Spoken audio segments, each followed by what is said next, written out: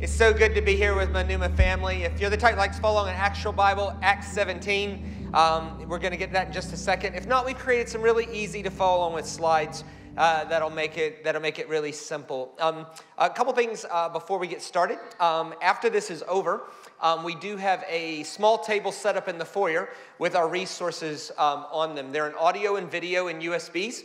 Uh, and the reason we do that is because we live with the conviction that we're not simply called to go to heaven when we die. We're called to bring heaven to every place we see hell here. And so we use the profit from that to create a fund that helps us do missions in the world. Our mission of choice um, instead of just giving a little bit to a lot of different things, uh, our mission of choice is we have three children's homes in China that look after children with mental and physical disabilities two in Hengyang, one in Changsha. And so, uh, since the last time I was here, um, there's six brand new series. Um, everything you're going to see there is a series with anywhere from four to 11 in each one. Um, and you could choose the audio version or the video version. Um, it's letting me put something in your hands that'll change the way you look at God. You put something in our hands that helps us feed, clothe, shelter, educate disabled children. I think that's a pretty good, um, a pretty good trade. Um, we also, five weeks ago, I'm very excited about this. Five weeks ago, we released a web streaming service app. And so um, you can come by it. We, it got to the point where we couldn't take all of our resources because it's too big. So what we did is um, um, we released an app um, that's a web stream that allows you to have access to all of it. So if you just come by the table, there's a QR code. Um, you can just uh, you can just do the thing on the on the QR code, um, create a free profile, and then you'd have access um, to the to the stuff. Uh, my understanding is is that even if you never if you never used it or whatever the case may be, it still helps us the more people that uh, create a profile. So I don't understand all that, but I trust the people who do trust that, who do know these things. So if you could come by, do it. The only thing I would ask is that if you don't want anything, God bless you. I'll see you this afternoon, okay? If you know, if you know I'm gonna go get something after this service, I'm just gonna ask you to do it in the first 10 minutes. Um, the reason is, is because um, I'd love to go get something to eat uh, before I have to be back at 3.30 for the 4 o'clock so it's a really carnal sort of, you know, selfish sort of thing. I'd love to, I'd love to eat something. That'd be great.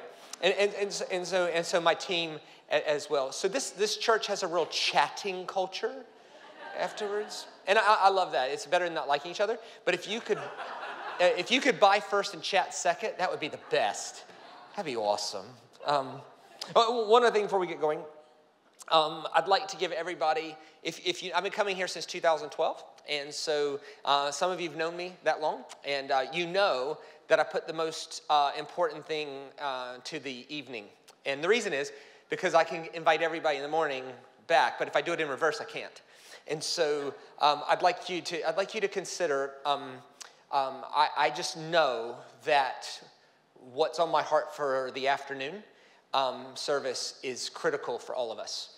So if you would consider coming by, um, if it doesn't change your life, I'll per- personally, out of my own pocket, I'll pay you back whatever the ticket costs to show up. Okay, so it's really, really, um, it's really, really risk-free sort of thing. All right, so I get to open the Bible today, and I take that really seriously.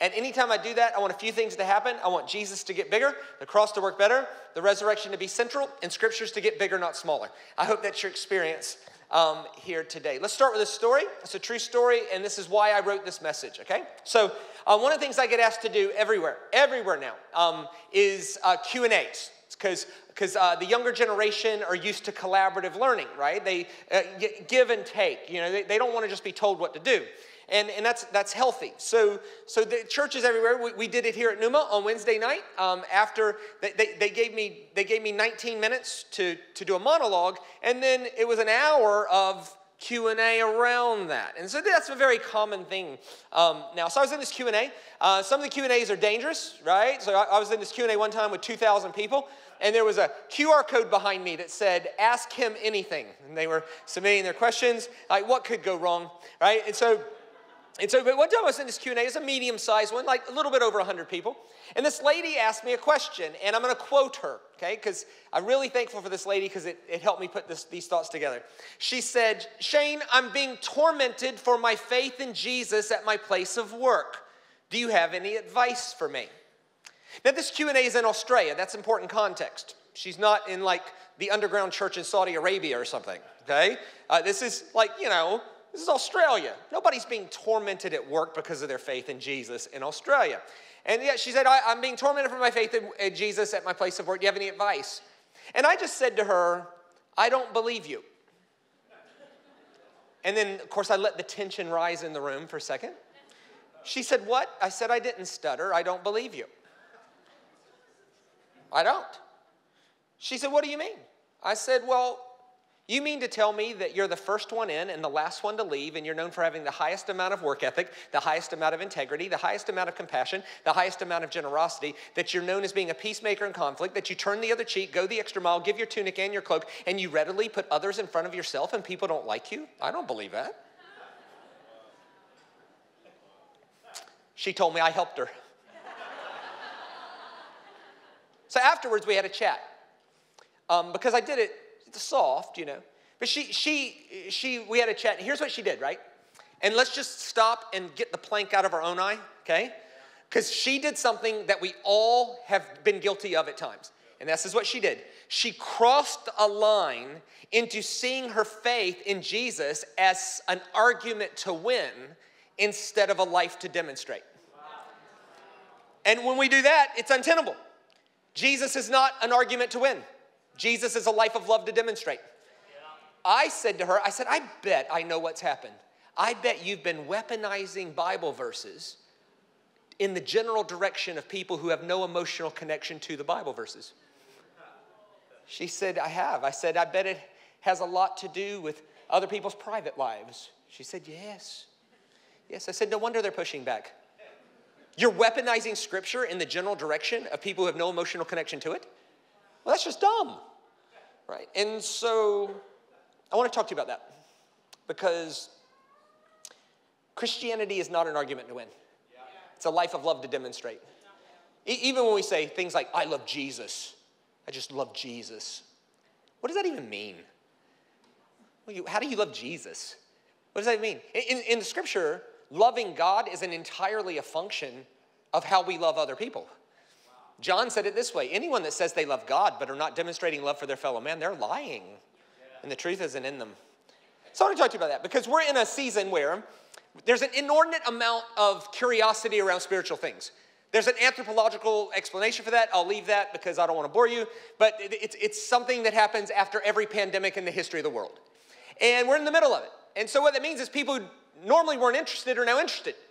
And, and, and, so we need to have some language on what this, what this looks like in our, in our world. So I think there's going to be three kinds of people that we'll engage with in our world. And I want everybody to resist the urge to go, man, I hope such and so's listening to this.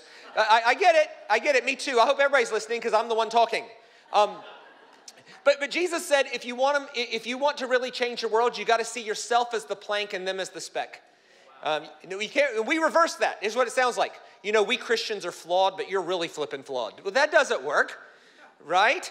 The, the Apostle Paul said it this way What business is it of yours, the immorality of the world? Sort your own house out, yeah. right? If you don't believe Paul or Jesus, how about Michael Jackson? If you want to make the world a better place, take a look at yourself and make a If you don't like Michael Jackson, how about Pink? I'm a hazard to myself. Don't let me get me. I'm my own worst enemy. Now, look, if Jesus Christ, the Apostle Paul, Michael Jackson, and Pink agree on something, there's a high probability that there's a profound truth in it. So let's talk about this. Um, so I want us to find ourselves in this story. I want to give language there's three types of people. If you could bring that first slide up for me. I think some people know it, but they can't name it. They know something's going on inside of them, they just can't name it. And that's really important for us to remember. Otherwise, we'll label people. We'll see the world as us and them instead of us as them. That's two different things. You, labels are for products, love is for people. As soon as you see, I'm a believer, you're an unbeliever, as soon as you can label it like that, we'll talk down to them and they'll lash back. Of course they will. They, you got, you, we got to assume that Christ is at work in all people. Whether they can name it or not is another thing. But we got to assume God hasn't given up on anybody breathing air, right? So, so some people know it, they just can't name it. Um, uh, other people, number two, they name it too loud. But when you look at their life, they don't know it. And that's a particularly level of yuck. Some people have received God's blessing for them, but their offering back isn't very nice at all. So let's talk about these three types of people. Some people know it, they just can't name it. I think it was eight years ago. There's a guy named Sean Penn. Sean Penn was Madonna's ex husband. And he got so moved, he sold everything he owned in Beverly Hills, moved to Haiti, and gave it to the poor. That is astoundingly inspiring. So, so when the news asked him, What inspired you to do that? Sean Penn's answer was, I can't name it, but there was an internal hum in my heart urging me to live the rest of my life for the good of others, and I had to say yes. Whew. Some people know it, they just can't name it. You see, all, you see examples all over Scripture. There's this one time, there's this guy named Cornelius. And Cornelius is so theologically unsound, he doesn't know Peter's not God. That's pretty basic. He shows up to Peter and he thinks Peter's God. He's bound. Peter, you want to talk about the earliest point of discipleship. Peter starts at the most basic thing imaginable I'm not God. Cornelius like, okay. Why am I here? Peter says, because God wants you to pastor the first church. What? I didn't even know you weren't God. I know, I know. But God already counted you righteous because your generosity to the poor went up as a remembrance to Him. Some people know it, they just can't name it. So there's this time, there's this guy named Paul, and um, he goes to a place called the Areopagus in Athens. It's in Acts 17. I'm going to read you the story, and then let's see if we can find ourselves in the story and be inspired uh, by it to change our lives, um, one mustard seed at a time. Acts 17, it says, Paul uh, then stood up at the meeting of the Areopagus. So we got to talk about that. So he's at this place called the Areopagus. And he said, People of Athens, I see that in every way you're very religious. In other words, you believe in God, good for you, right? For as I walked around and looked carefully at your objects of worship, idols, I even found an altar with this inscription to an unknown God. So you're ignorant of the very thing you worship. In other words, you know it, you just can't name it. And this is what I'm going to proclaim to you. Now, this is challenging, is it not? Would we accept this as an appropriate mission strategy at Neuma Church? So, so what, if, what if part of the service today there was a missionary that Neuma supports and he came to give an update? Give us four minute update of what's going on in wherever, Cambodia, wherever you are, right? And the guy's like, hey guys, I got an amazing thing. We had this mass conversion event, and what happened was, is uh, there was thousands of people worshiping at a temple, but they hadn't figured out the name of the God of the temple, so I just called it Jesus and we'll be done with it. And now they're all worshiping Jesus. Uh, would we be okay with that? Yeah, that's what Paul's doing. There's a thousand gods in Athens. One historian said there's more gods than people in Athens. And he just finds one without a name and he goes, That'll do. Let's call that Jesus. That is bizarre and challenging. And why? Watch this. Watch. This. He keeps going. Next slide. God did this so that they would seek him and perhaps reach out for him and find him, though he's not far from any one of us. Pause.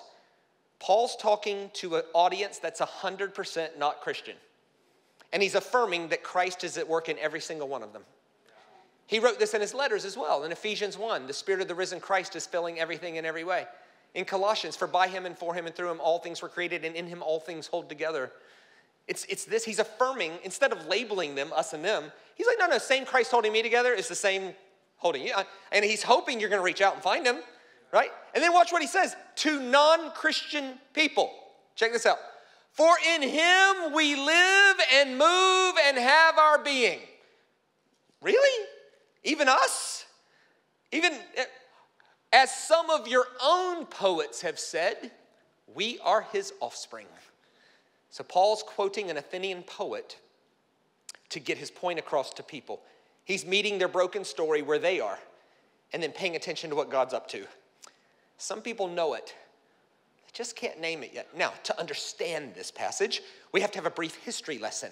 If you're like, no, I hate history, give me three minutes to redeem your boring history teacher, okay?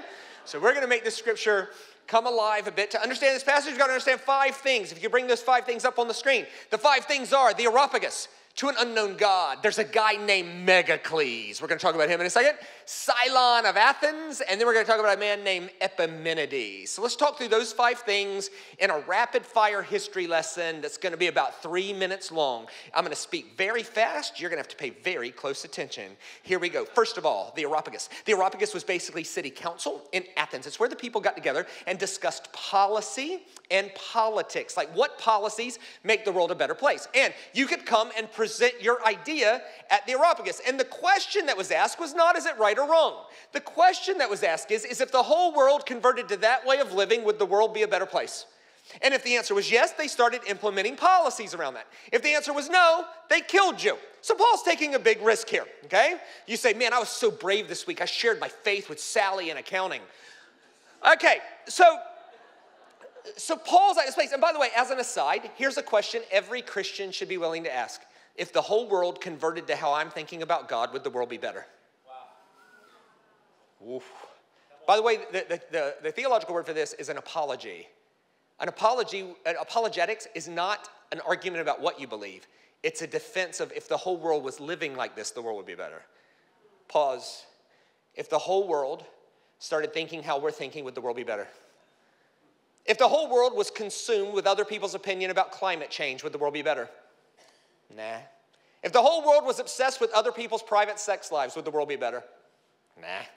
If the whole world thought political leaders were the answer to everything instead of heart change, would the world be better? No.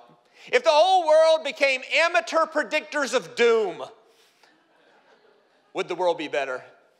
No. If the whole world got obsessed with a solar eclipse in America, yeah, because God's biblical calendar runs right through Jackson County, Missouri.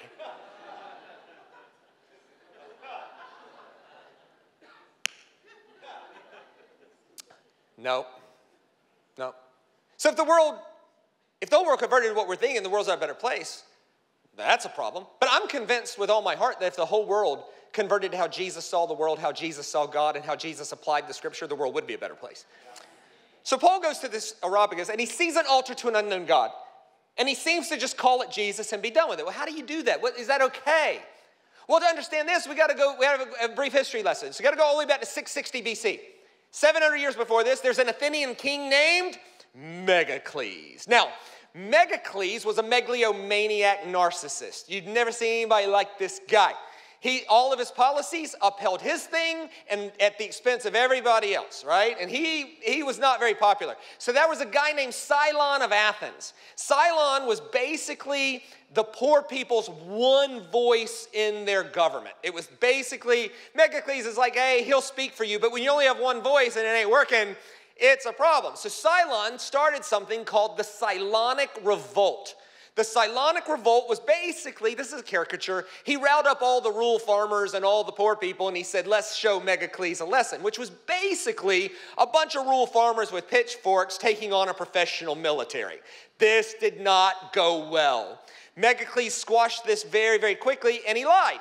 He told him, if you just surrender amicably, I'll just make you slaves. I won't kill you which was a good deal because they were already slaves. That was all right, right? But he lied. As soon as they laid down their weapons, he used them as public examples to, to prevent this kind of thing in the future. Let me, let me explain that. He tied them up in the city center and he had wild animals rip them apart. He tied them to horses and had horses pull them apart. He put them in scapes where you're encapsulated in a boat and you end up dying from your own excrement. He, he, he, he, he disemboweled people He'd tie them up like this and just cut them and have their bowels pulled. He'd pull their bowels out. One historian said there was pregnant women with babies just hanging out of the, like, it was an unthinkable thing. A, a government sanctioned uh, horror. Um, it, by the way, just as an aside, real quick, never ever buy into the lie that the world's getting worse. It's not getting worse. Compared to when? Are you serious? And it, not only is it not getting worse, it's the best it's ever been precisely because of the work of the Spirit of Christ in the world. That's the Christian narrative, is that Jesus is involved saving it, not destroying it. It's the best it's ever been, and it's not even close. Like, look, would you rather be a woman today or 1950? I'm not tricking you, seriously. would you rather be a woman today or 1950 or 1850? Is God done redeeming women's rights? No, it's better. Uh, would you rather be black today or 1950? Or 1850? Is God done redeeming race relations? No, it's better though. Would you rather go to the dentist today or 1950? or 1850? Today they numb your mouth with Novocaine. In 1850 they numbed it with whiskey. Novocaine's better. Would you rather have a colonoscopy today or 1950? Oh, look.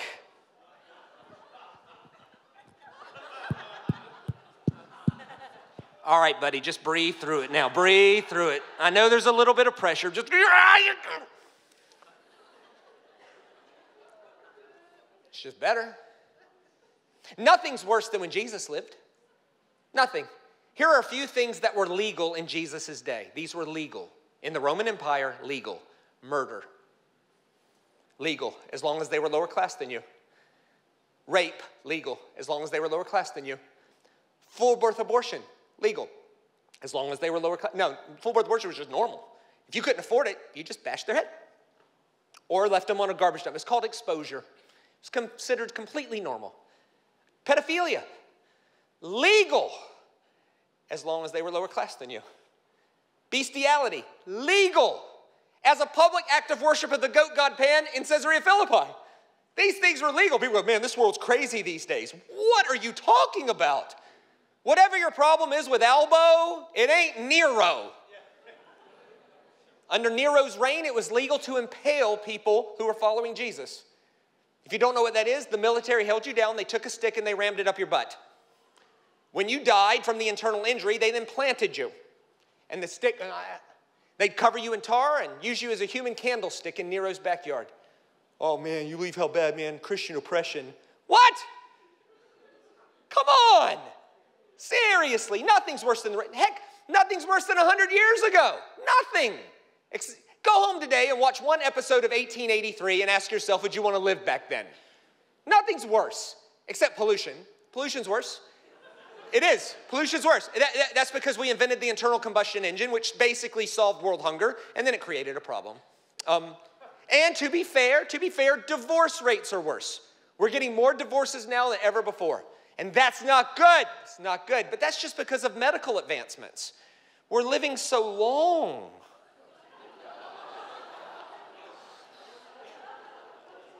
In Jesus' day, they died at 32. So till death do us part was more doable. now you got to live with them to 84. It's a whole thing. You imagine if your great great granddad came back from the dead and you had two days to convince him how much worse the world is these days? Imagine that? Just imagine the stuff in your house. What's that? It's a car. What's that do? Takes us wherever we want to go at 100K an hour on a paved road. What? What's that? It's a tap. What's that do? Brings clean, drinkable water into our houses under pressure. Wow. What's the other one? That's the hot water. You have hot water coming into your house under pressure? Yes. What's that? It's the toilet paper.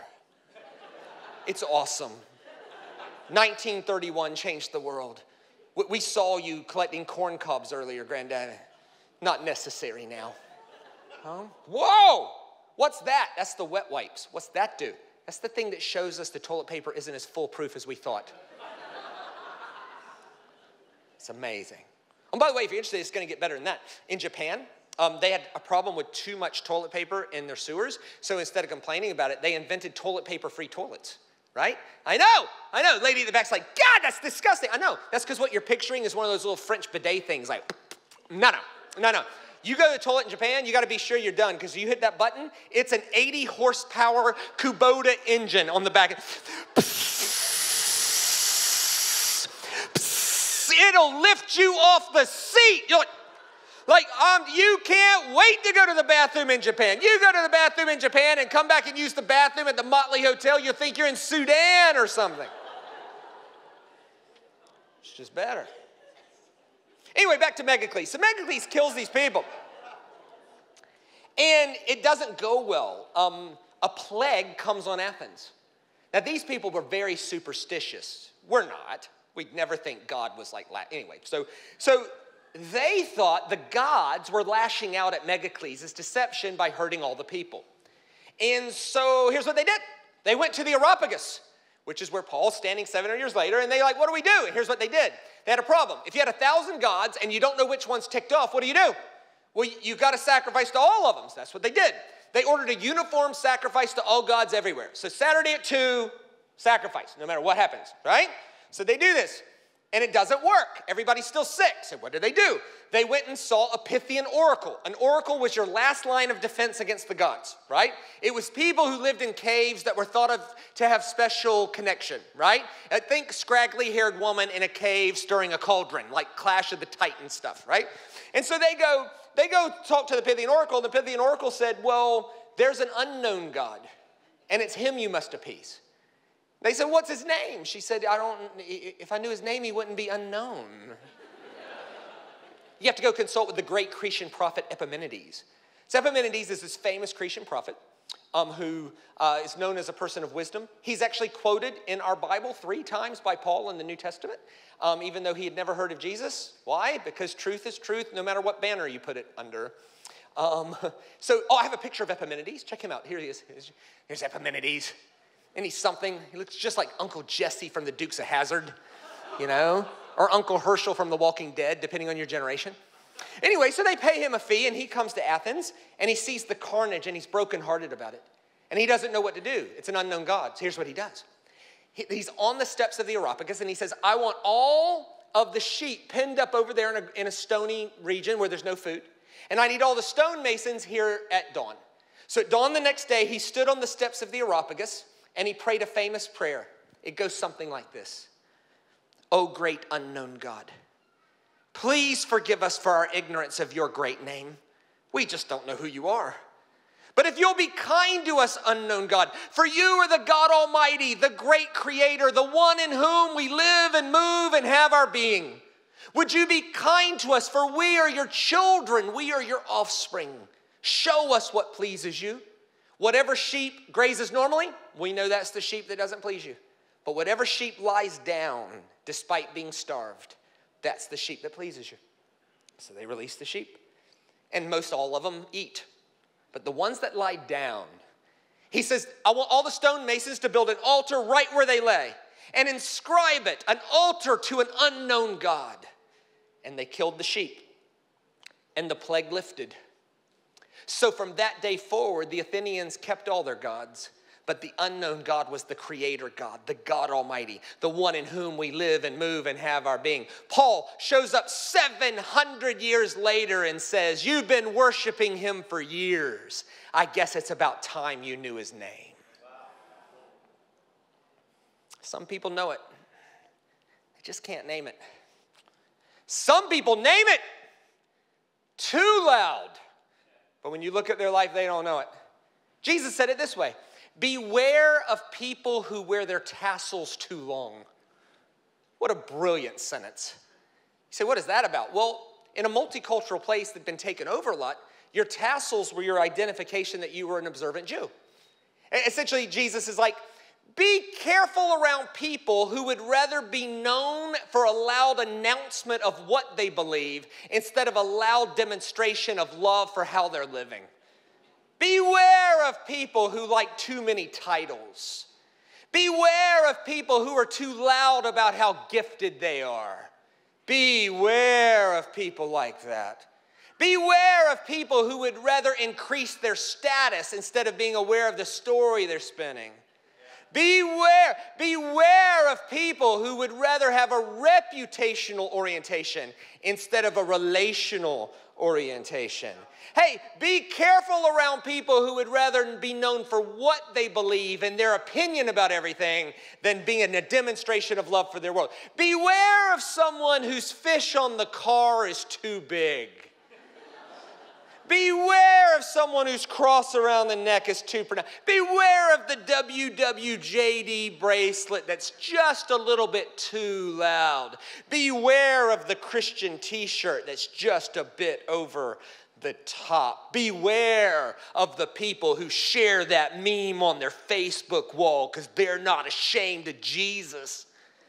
Ah! Beware of people who wear their tassels too long. Some people name it, but you look at their life, they don't know it.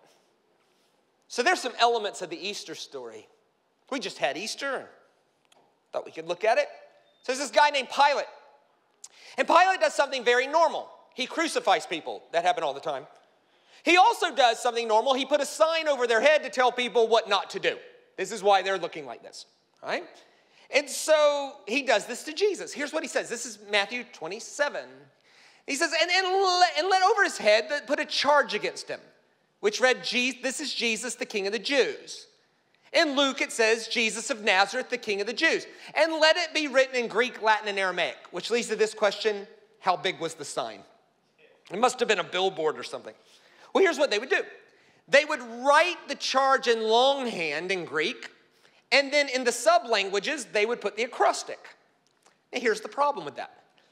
In Aramaic, here's how you say Jesus of Nazareth, the King of the Jews. Here it is Yeshua, Ha Nazarite, Vamelika Hayudim, Jesus the Nazarite, the King of the Jews. Now, if you write that as an acrostic, over his head, Pilate wrote, Here is Yud He Vav He. If you don't know what that is, that's the highest possible name for God in Hebrew. Here is Yahweh. Here is the Lord. Here is God. So over Jesus' head, remember the chief priests, they get mad. They go back to Pilate and say, Take the sign down, bro. You can't write that. And Pilate's like, ah, well, I've written whatever I've written. Shut up. Go home. It's late. Right?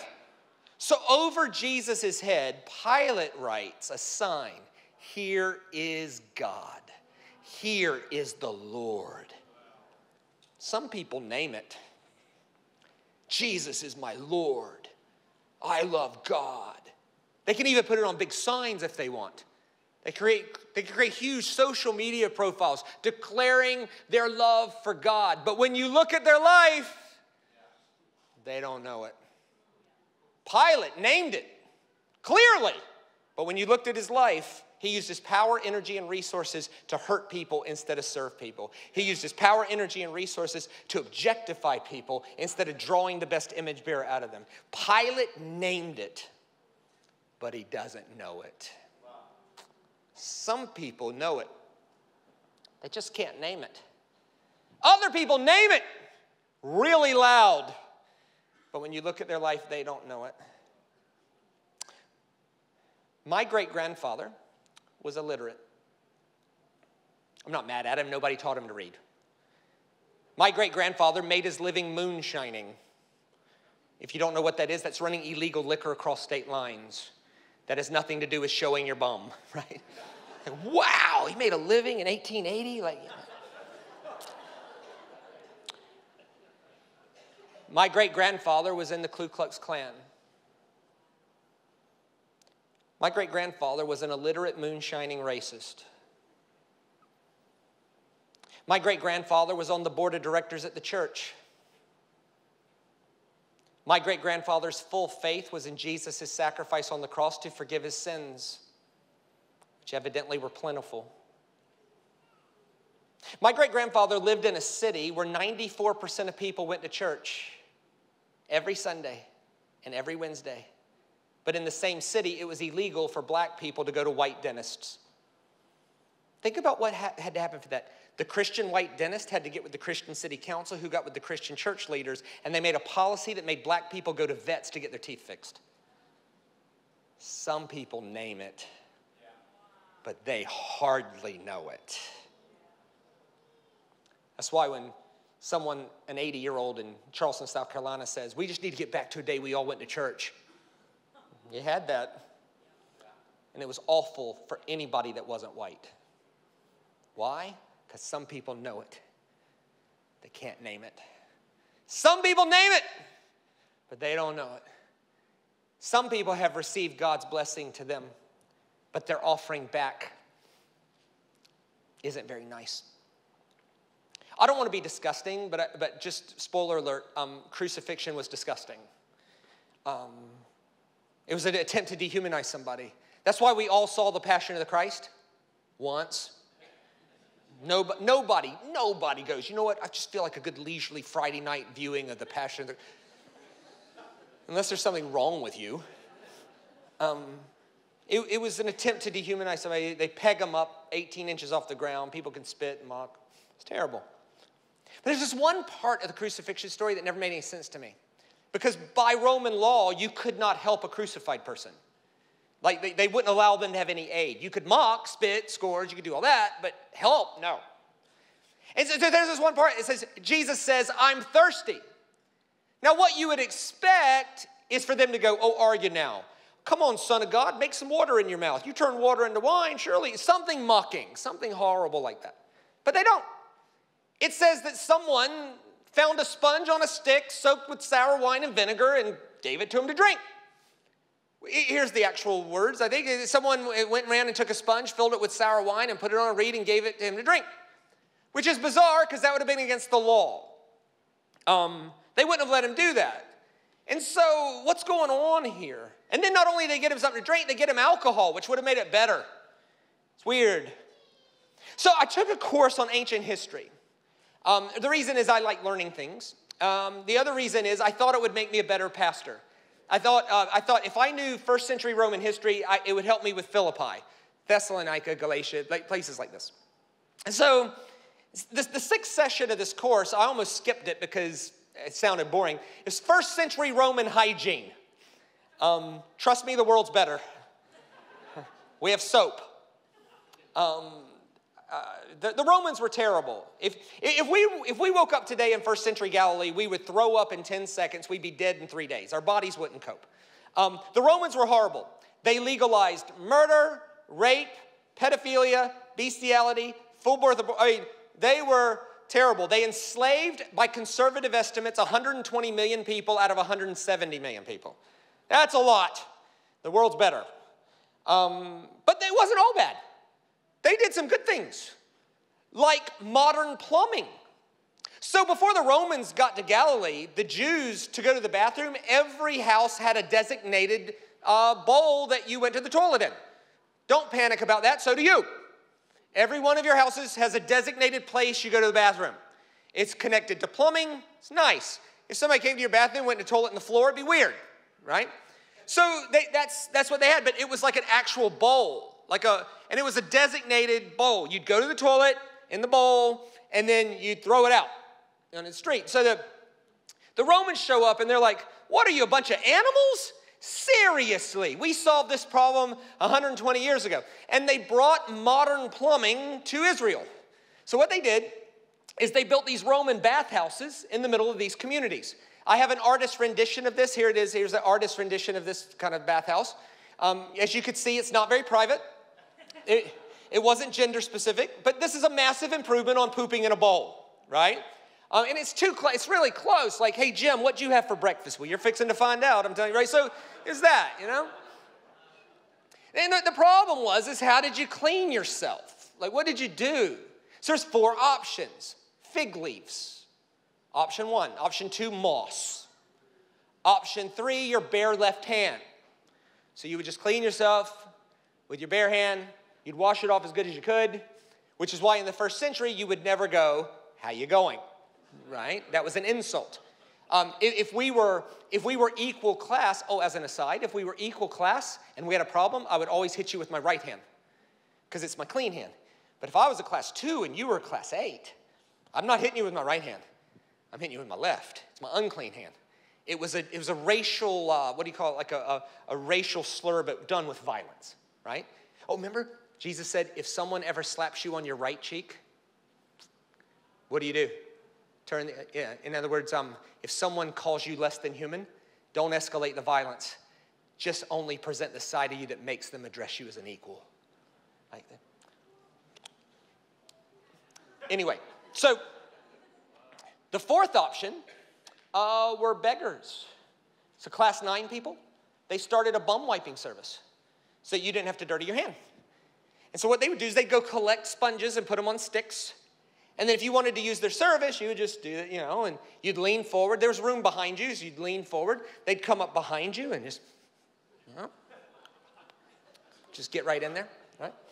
So the problem was is, is how did you uh, how did you sanitize the sponge? So, so you would, there was a, in, a in, in the Roman bathhouses, there was a bucket uh, with sour wine and vinegar, and they would, they would saturate the sponge. That would sanitize it by first century standards. Um, not by our standards, by first century standards. As a matter of fact, if you bring that photo back up, um, as you could see in the guy's hand on, his, on the bottom, he's holding a sponge on a stick, and so are the other ones. Uh, all you gotta do if you don't believe me is Google um, first century Roman toilet paper, and it's sponges on sticks. As a matter of fact, the second hit you'll get is this picture here. Check this out, next slide. Next one. See, the, the, at the bottom there, a sponge stick, the ancient equivalent of toilet paper, well known from literary sources. So here's what happened in this story Jesus is giving his life for that man, and somebody there was cruel enough to go, I know what to get him to drink. And they found a sponge on a stick soaked with sour wine and vinegar and lifted it to his face. What was that? That was the public toilet butt wiper. And what was Jesus' response? Forgive him. Which leads me to all kinds of questions for us. We tend to read the Bible and read ourselves in as the good guys. But just for a second, here's what's happening in this story Jesus is offering his life for this man, and this man's offering back to him was a dirty Roman sponge. Which leads me to this question what does our life lifted to Jesus smell like? You could never reciprocate what Jesus did. But does our life's response somehow lift like incense to his nostrils? Or does my anger, my lust, my greed, my tendency to call people idiots, my apathy, is that lifting up? Does the, does the, the, the scent of my life, does it go up as a sweet smelling incense or is it a dirty Roman sponge? I have a few questions because great sermons aren't meant to be agreed with nor disagreed with, they're meant to be wrestled with. So let, us let's, let's ask a few questions. Next slide. When, when ministering in a multicultural context, can we assume that Christ has been at work before we got there? That Christ is already in southern Spain and at work in people in southern Spain. So anything like Neuma's bringing Jesus to southern Spain. No way! Jesus is already at work in the people of southern Spain. And what Neuma's job is to go help them name what's been going on in them all along. Otherwise, we'll look down on them. One of my favorite Hebrew words is the word chesed. Chesed is loving kindness. It's God's intent to treat people as they are worth, despite what they might deserve. It, it, it, this, this story convicts me about the limits I've put on Jesus' love for people. Oh, Jesus wouldn't love you because of what, or Jesus wouldn't love you. Wait, hang on. In this story, this guy's response to Jesus is to lift a Roman sponge to his face. And Jesus' response was, I still forgive you. Still forgive you. Now go be inspired by that. We're not supposed to believe in that. Demons believe, we're supposed to allow that to fundamentally shape the way we see our whole world. Let's say it this way next slide. If, if my life is an incense offering, what does it smell like? How's my anger? Jesus said six things endanger us of hell anger, lust, calling people idiots, pride, apathy, and greed. How's my, how's, does, does the offering of my life look like I'm here to serve people or I'm here for them to serve me? Does the offering of my life, how about my anger? When Jesus looks at how I treated that person who came against me, does, what does that look like? Um, maybe we could summarize that in one sentence Jesus has given his life for us. What will our offering be back to him? Does our life have an appropriate response to his great love? Um, I, I thought about how to end this, and um, I'm very fearful of ending it the way I'm going to do it. Here's the reason why worship and exaltation is not singing, it's surrender. That worship in here means nothing if it doesn't translate to a life of love out there. Jesus said it this way if you're offering your gift at the altar and there you remember that there's not peace between you and a brother, first go and be reconciled and then come back. In other words, what good does it do you to worship with all your heart in here if all the world sees is us in conflict out there? Um, exaltation is a moment where we remind ourselves of His place in ours, and then hopefully that changes the way we see our whole world. So, it's my last point in the sermon. I'd like you to stand because you've been sitting long enough.